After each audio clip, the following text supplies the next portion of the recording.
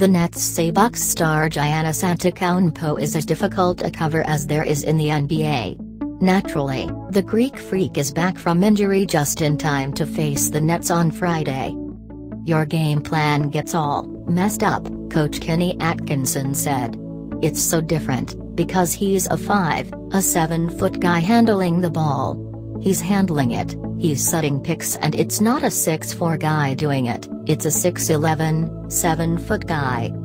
I've seen teams just get messed up in their coverages because it's so different from what they're used to seeing. A big guy with that kind of versatility, it makes it hard, it really does. Rondae Hollis Jefferson and DeMarre Carroll will get the bulk of the work guarding Antetokounmpo, but the Nets will run bodies at him, possibly even Jarrett Allen.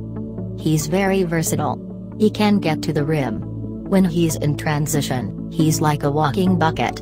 And he doesn't settle for threes, he's going to still try to get to the rim, Carroll said. He's a freak of nature. He's long, athletic. So it's going to be a team effort. We're going to throw multiple guys at him.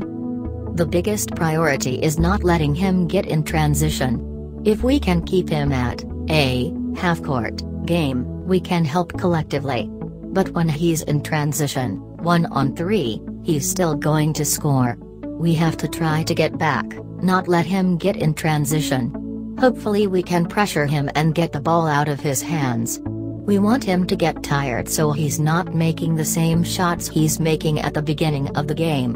Antetokounmpo is expected back after missing two games with a sore knee.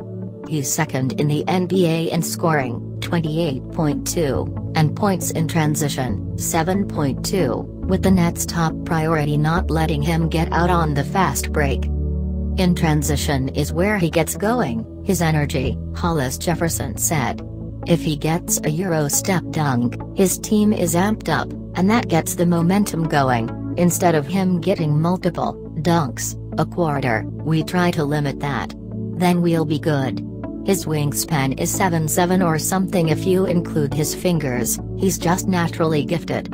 Atkinson had nothing but praise for ex-Nets player and coach Jason Kidd, who was fired as the Bucks headman Monday. I'm a big fan, loved watching him as a player. When I first got the job with Brooklyn, he came down from the other side, which coaches don't normally do. This is Jason Kidd. He shook my hand and said, good luck Kenny. I didn't even know he knew my name. It was a first-class gesture, Atkinson said. I loved the way he carried himself on the bench. I don't know him intimately. Obviously I respect Nets history and what he's done. I loved watching those Nets teams with him. That was fun. Obviously, professionally, I have a lot of respect for him.